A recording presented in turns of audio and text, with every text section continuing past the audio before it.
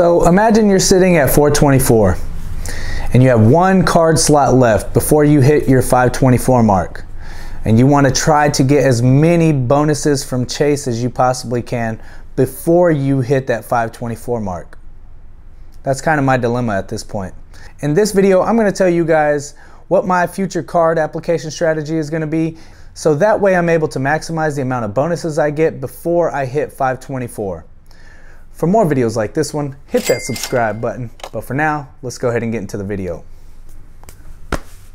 Damn!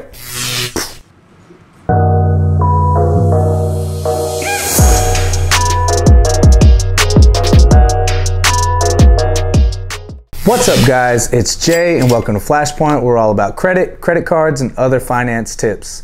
If you're new to the channel, please consider subscribing.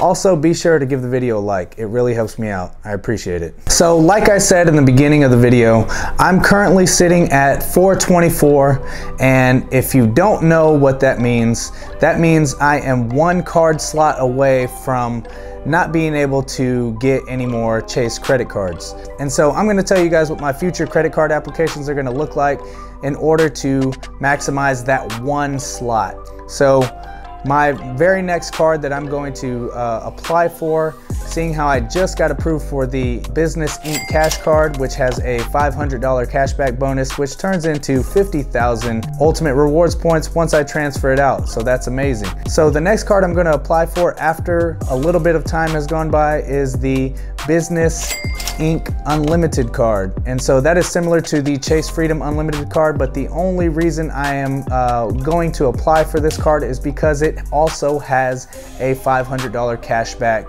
uh, bonus, which turns into another 50,000 ultimate rewards points once I transfer it out. This card also has a no annual fee, so that's another reason why I will be able to apply for it and keep it. So, you know, I don't ever have to worry about it. And uh, I'm not exactly sure what the categories are. It says select business categories, so uh, whatever that is, I mean, I'm sure I might be able to find some use of it.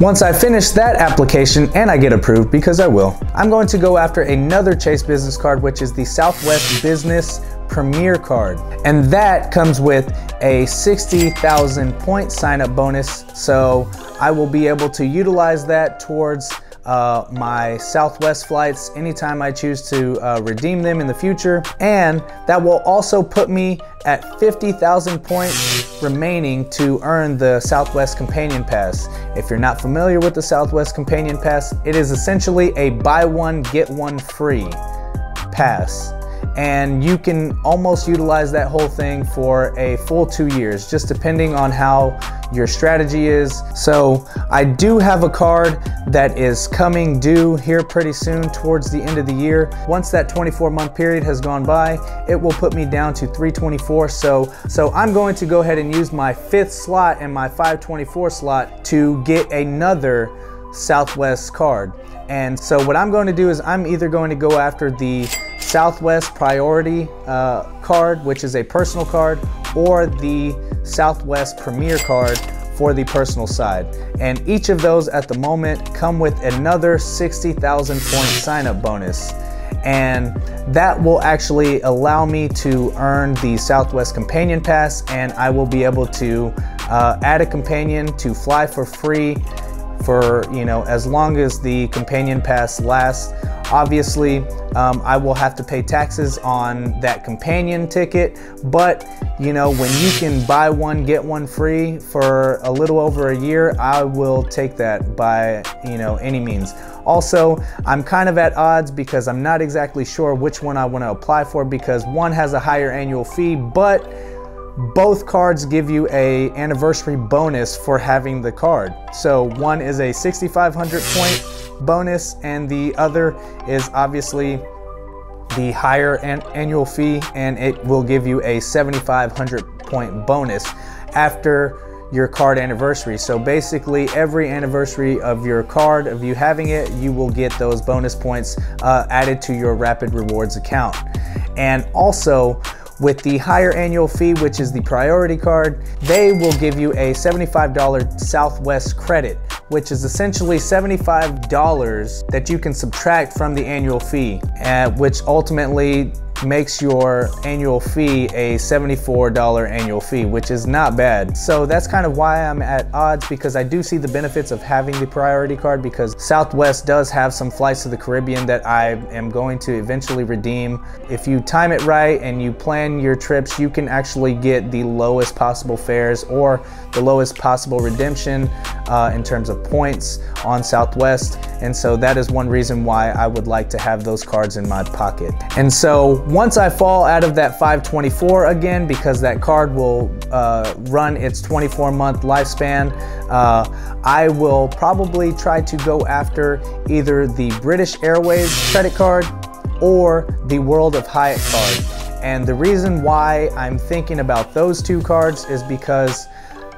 for British Airways, they earn Avios, and so that is one way that I kind of see a benefit in traveling overseas because I do have some aspirational travel uh, locations that I want to go to. And the other is because the World of Hyatt card, um, there are some perks. They do give you a free award night, and Hyatt is usually the best way to redeem Chase Ultimate Rewards points for the moment since United has gone away with their award chart. So, um, that's probably the best way to redeem Chase points at the moment, in my opinion, that and Southwest. I have a trip coming to Chicago here in a couple of months, and uh, I was trying to redeem some Chase points for, you know, a round trip for two to get to Chicago through United, and they were trying to, you know, basically rip my arms and legs off with my points. They wanted to charge 104,000 points when I got them on Southwest um, for 20,000 points, which is not bad. That's 10,000 points per person for a round trip each each person. And so I can't complain with that, you know, so that's why I value the Southwest um, points as much as I do. And after I finish my chase slots, I plan on going to the American Express side.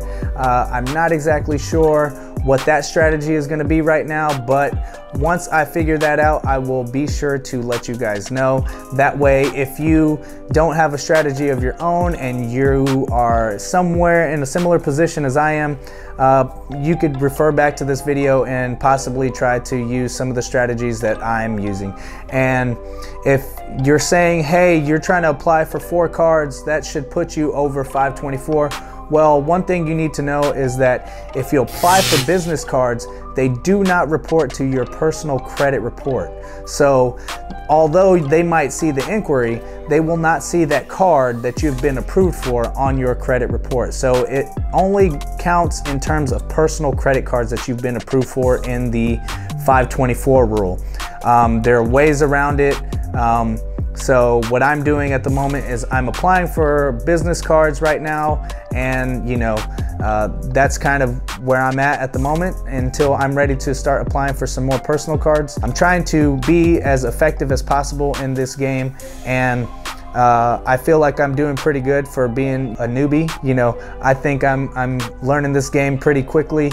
Um, and so uh, I'm looking forward to all of my traveling that I am going to eventually be doing for sure. So you guys just stay tuned to the channel for more updates. And uh, if you have any questions, I can give you guys some gurus that I really think are really good at this uh, points and miles game. And two of them that are really great at showing you how to redeem your points for certain trips are Points Pointers and Wise Flies. And that is Rami with Points Pointers and David from Wise Flies. Those guys give really good insight on how to redeem your points for certain uh, aspirational stays like the Bahamas, like if you want to fly first class on certain uh, trips to Europe. Um, those guys are really good at showing you how to um, redeem your points uh, effectively and efficiently and for as little money as possible. So I would recommend going to those guys' sites if you uh, want a little bit more insight on, you know, just how this stuff works. And that'll conclude today's video, guys. For more video updates, hit that subscribe button. If you found this information to be helpful, give this video a thumbs up. I really appreciate it. Share it with your friends. Drop a comment down below to let me know what your card strategy is. I'm curious to know. Don't forget to hit the bell notifications down the bottom left corner so that way you guys can stay up to date for whenever I drop my next video. Be a good person, be safe, be smart, and remember, credit is your life. Peace.